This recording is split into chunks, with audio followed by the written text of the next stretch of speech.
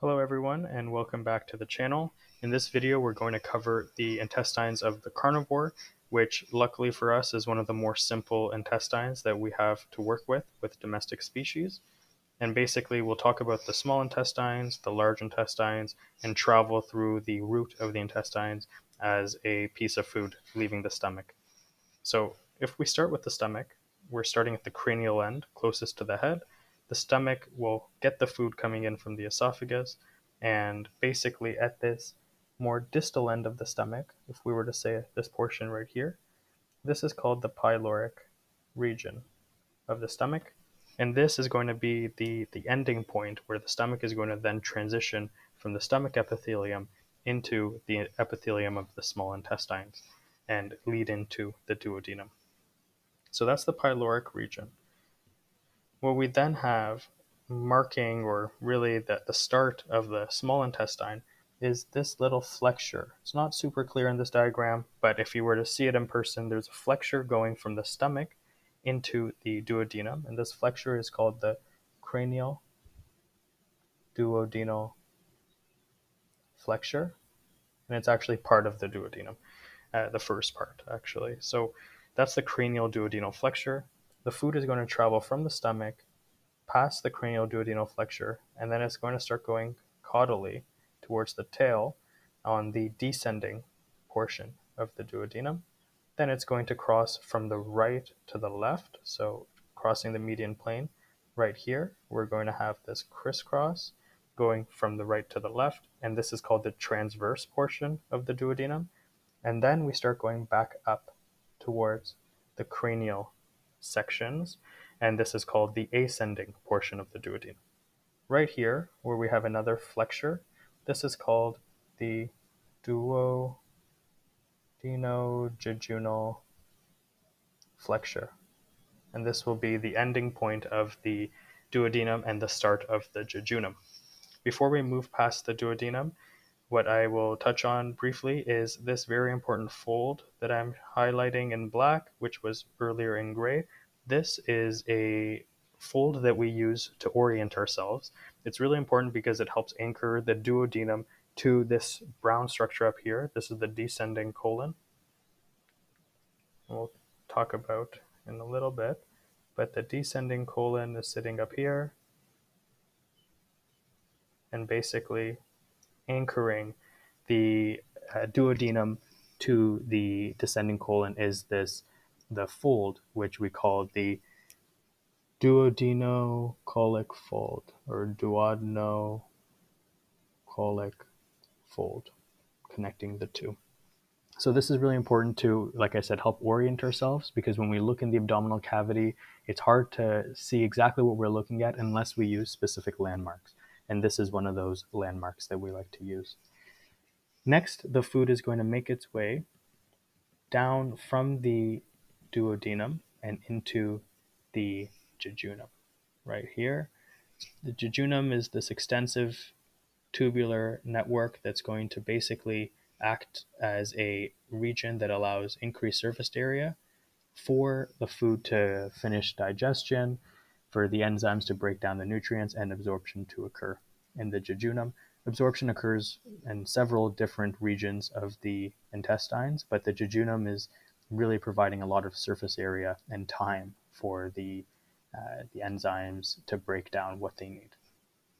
Once we leave the jejunum, uh, maybe before I get there, uh, I'll touch on just what we have here. This is the mesojejunum, and it's really extensive in the carnivore because if you've seen the other videos, we don't have any kind of uh, ascending colon creating these spirals in the middle in carnivores. In carnivores, we just have this mesojejunum, which is going to be uh, really important in basically holding the jejunum in place and creating this lubricated serosal environment that doesn't allow tangling to occur.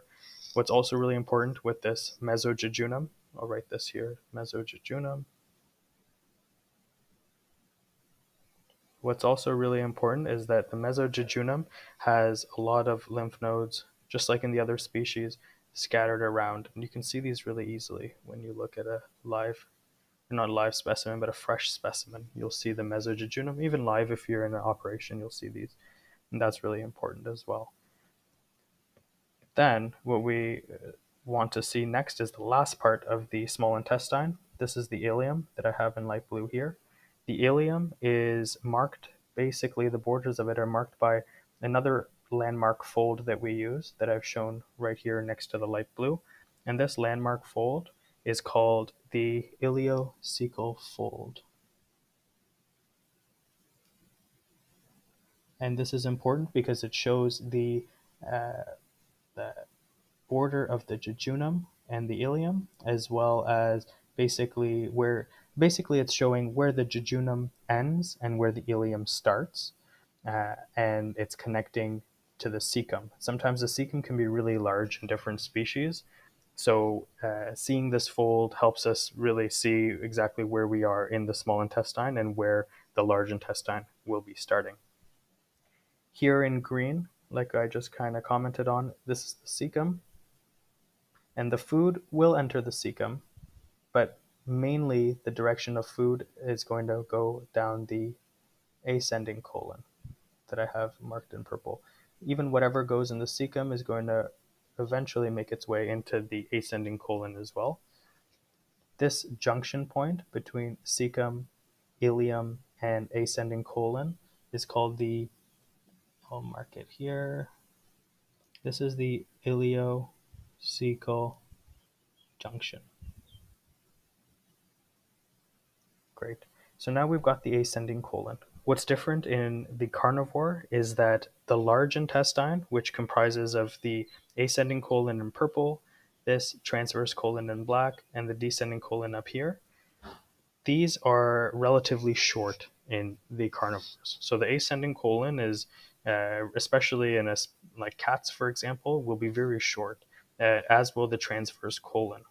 So basically, the food will go in the ascending colon, called ascending because it's traveling towards the cranial direction. It's going to cross from the right plane towards the left plane. And then basically the descending colon right here.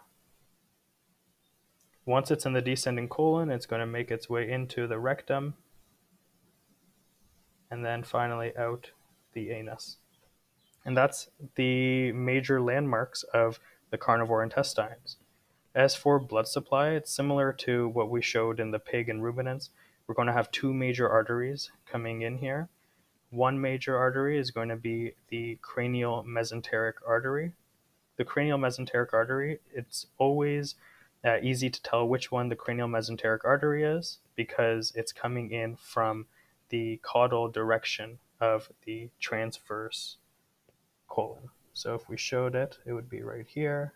It comes in caudally to this transverse colon here, and it's going to give branches supplying the duodenum. It's going to give branches that are going to run in towards the jejunum and supply this whole region, as well really just shooting off branches to everything in this intestinal region, except what it isn't supplying is this descending colon, because the descending colon is being supplied by its own blood supply, which is the caudal mesenteric artery.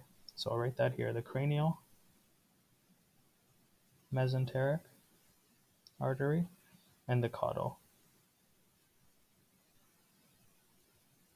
And that's basically it. So we'll see you guys in the next video.